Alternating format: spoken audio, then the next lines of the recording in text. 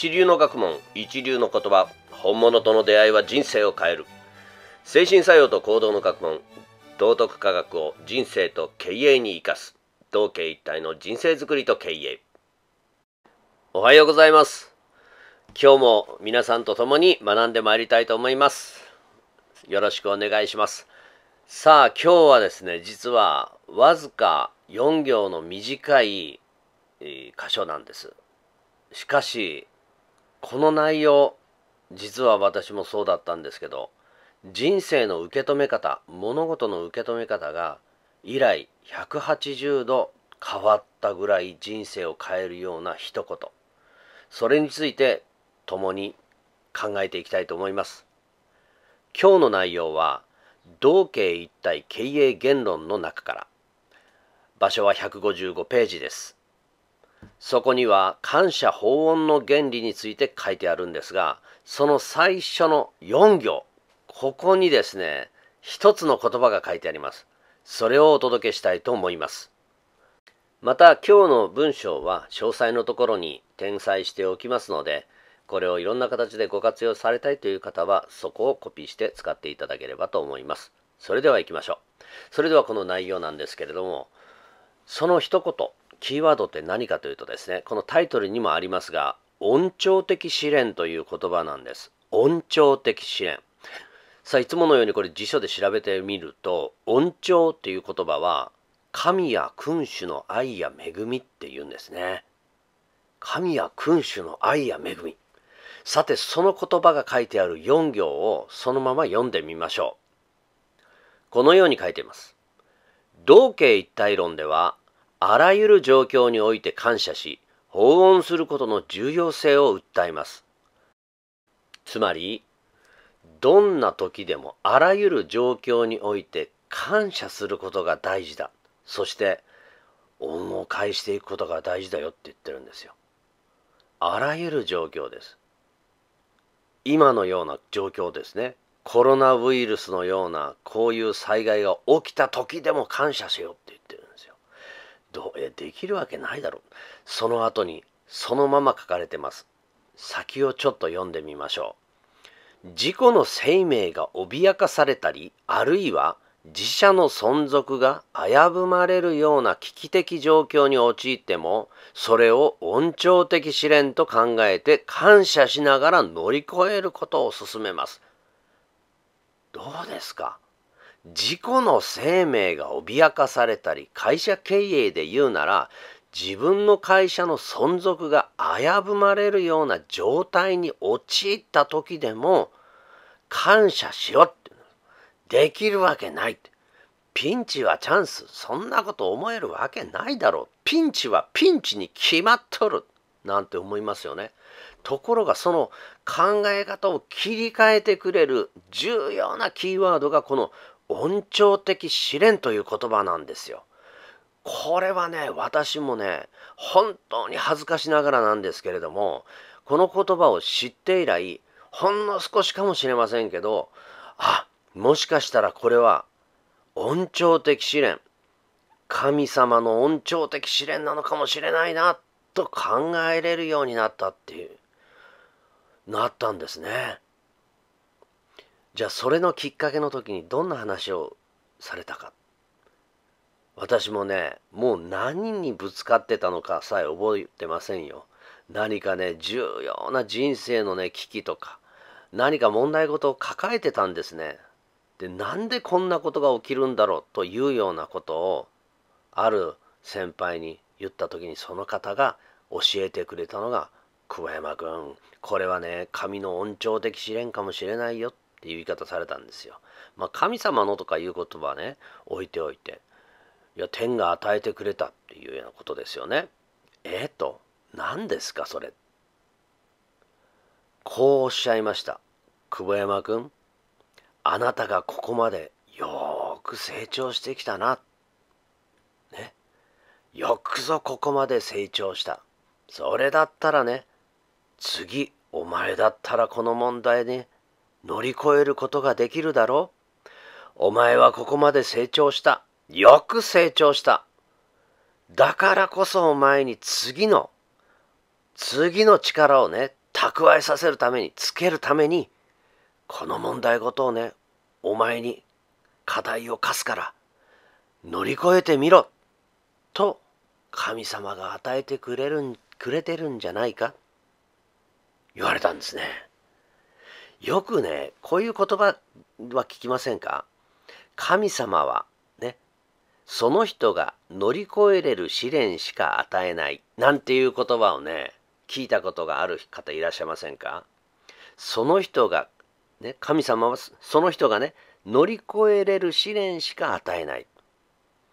本人にとっては乗り越えることできなくて苦しんでるんですよ。その問題を解決できなくて苦しんでるんですよ。どうしたらいいかわからないんです。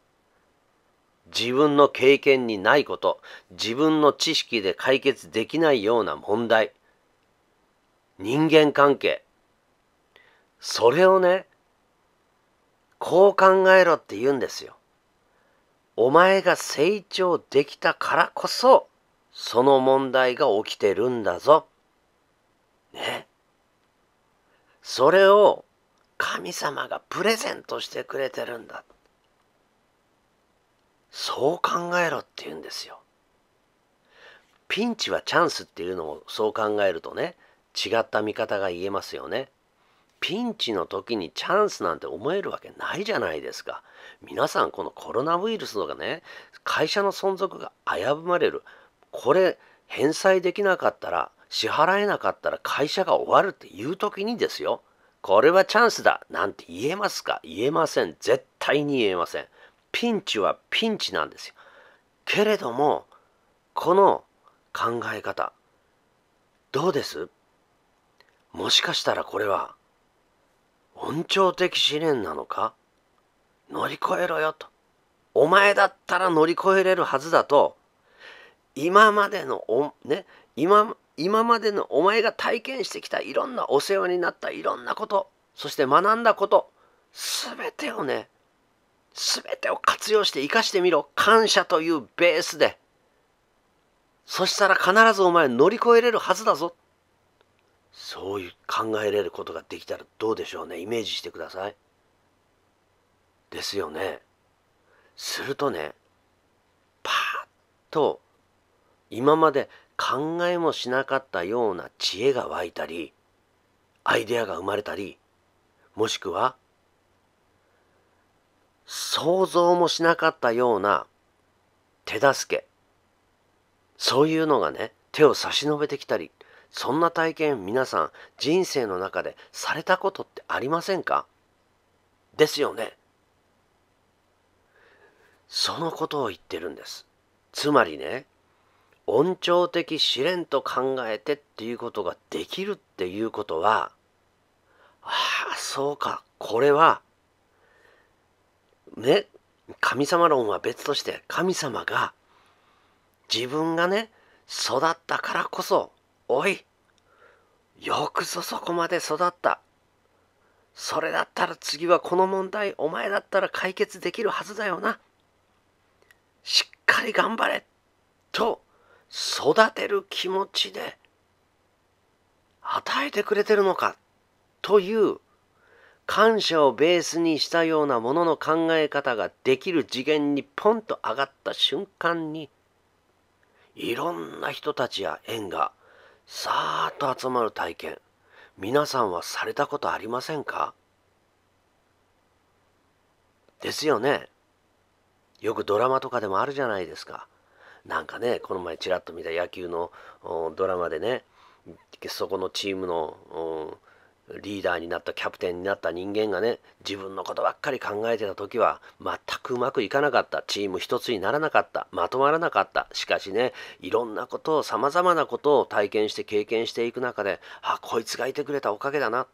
あこの監督のこのおかげだなとかなんだ一番嫌ってたやつが一番チームのこと考えてたのかとかそんなことをね次々次々気がついてそしてそうか俺は一人じゃなかったんだとか俺は自分の力じゃなかったんだみんなの力でここまで来れたんだとかプラスのプラスの感謝の世界の精神作用つまりものの考え方がカチャカチャカチャって切り替わっていったらどうなりますか最終的には全員の力が結集してそしていろんなところから「おいこんな人紹介するよこの人がね応援するよって言ってくれるよ」とか「おいお前困ってるらしいな俺が力貸すぞ」とかそういうのが起きてきてそして見事例えば優勝したりとかしていくじゃないですか。世の中見てみるとそういう法則ってありますよね。そういう原理がありますよね。これがまさに感謝法音の原理、その最初の4行に書いてあるものの考え方、ベースを変えろと。なんで俺だけが、なんで俺がこんなに、こんな問題ごと超えれるわけがない。絶対にこんなことを、この壁なんて乗り越えれるわけがないと思ってる、そのお前の自我、自分中心的その考え方から感謝法恩をベースとした恩寵的試練ではないかという考え方に切り替えろということなんですよ。するとね、どうでしょうね。この問題、俺はですよ。この問題、こんな問題、俺は絶対に解決できない。解決できるわけはない。そうです。お前は解決できない。しかし、お前のま、お前は、様々な人の恩を受けて、様々な人のおかげで、今日まで来てるじゃないか。それに気がつけば、いろんな力がお前に、いろんな手助けが、いろんな縁がお前に降り注ぐんだ。そこに気づけ。そこに上がれ。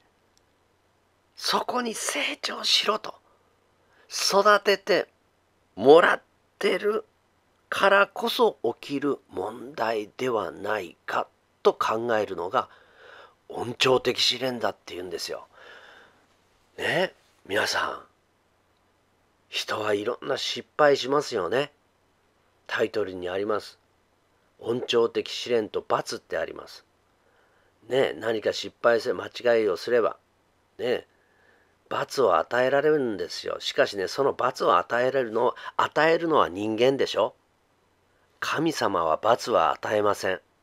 神様が与えるのは恩寵的試練だけなんです。罰を与えるのは人間です。しかしね神様は天はその人を育てようとしかしないんですと考えるなら人生で起きる全てのことは必ず良くなるためにその人が良くなるために起きているとしか考えられない。そう考えた人間は必ずあこれは恩寵的試練だ。腹かいちゃいかん。喧嘩しちゃいかん。争っちゃいかん。あいつが悪いって言っちゃいかん。なんで？環境が環境がとか言っちゃいかんコロナウイルスがじゃないそれは自分がここまで会社社員たちと一生懸命やってきたからこそ乗り越えられるだろうと神様が与えてくれてる恩寵的試練なんだと考えることができた人間は全部そして社員が社長がそれをねみんなこうだやるぞって言った瞬間に社長一緒にやりましょうってなった組織をイメージしてみてください。必ず乗り越えられますよね。いかがでしょう。私はね本当に恥ずかしながらですよ。これね恩寵的試練っていう言葉を教えていただいてから本当にです。ことあるごとにもしかしたらこれはねこういうことが起きたのこれ神様からのプレゼントかな恩寵的試練かなって考えることがスイッチが変わることができればねなんとなくですよまだ。よしじゃあ必ず解決はできるはずだ。必ず解決できるはずだ。良い方に。人生で起きる全てのことは必ず良くなるために。しか起きてないと信じきることができたらどんな問題でもここに書いてあるように感謝とまではいかないかもしれないけれどもよし頑張ってみるぞ。チャレンジしてみるぞと。みんなと一緒にそう考えることが自分を育ててきていただいた育ててくれた人たちへのここに書いてある恩返しになるんじゃないかそう思えるようになりました。皆さんいかがでしょう？ね。恩寵的試練。ピンチはチャンスとは思えない。思えません。しかしね。あもしかしてこれは自分が成長したからを降りかかってきた問題。自分が育って力がついたからこそ乗り越えれるはずだろうと神様が試してくれている試練恩寵的試練。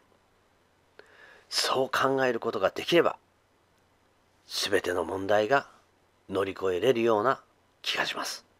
いかがでしょう？今日は以上です。皆さん是非今日の考え方をね頭の中に入れて何か問題が起きた時によしこれはね乗り越えれるから起きることじゃないかと思って一日を過ごしてみましょう。それではまたお会いしましょう。